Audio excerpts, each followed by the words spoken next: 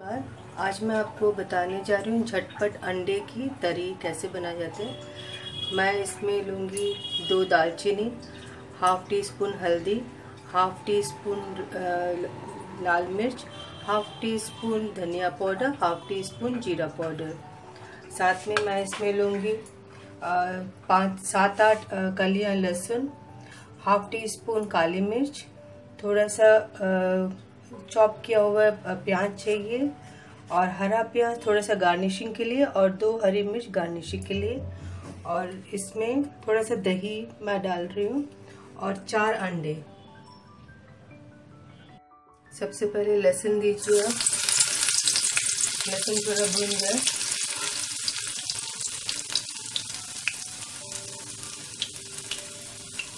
एक प्याज आप बस एक प्याज आप दीजिए इसमें। इसे थोड़ा भूनना है।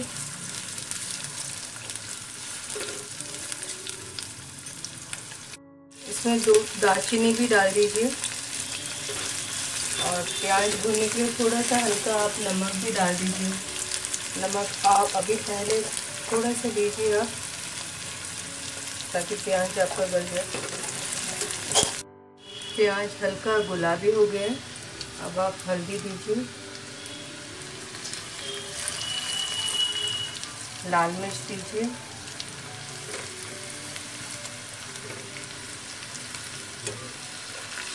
अभी इसको आप थोड़ा सा पानी दीजिए।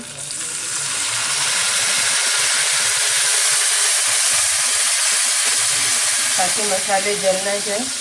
बाकी धनिया और जीरा भी डाल दीजिए।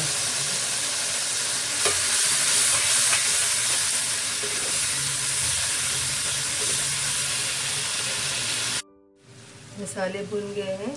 अब आँच को थोड़ा धीमी करके आप इसमें दही डाल दीजिए।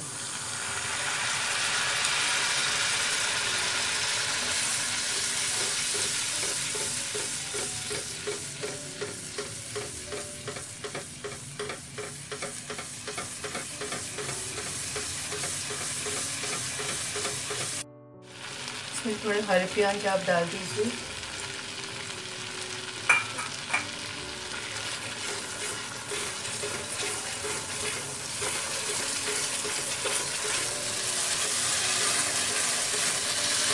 और अब आप एक कटोरी पानी दीजिए।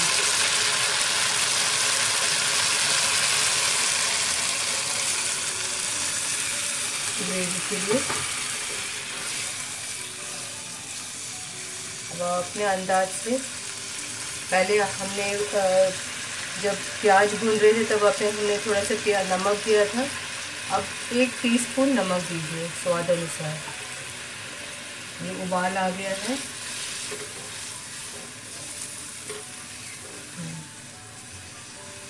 थोड़ा सा उबाल आ जाए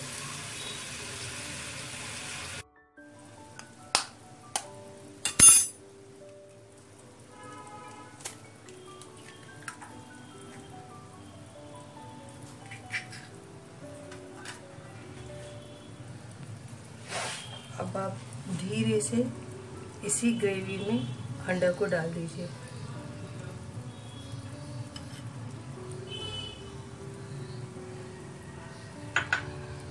इसी तरह एक एक करके आप अंडा को फोड़िए। ये आपका झटपट अंडा करी।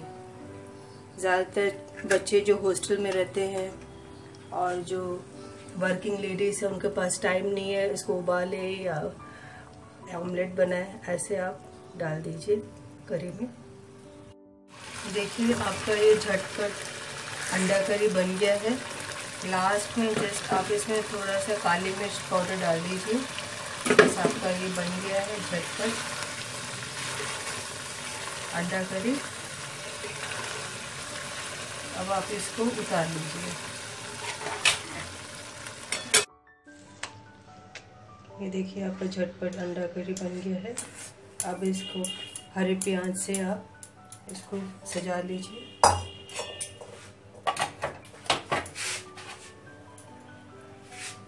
हरे प्याज से आप ऐसे गार्निश कर लीजिए।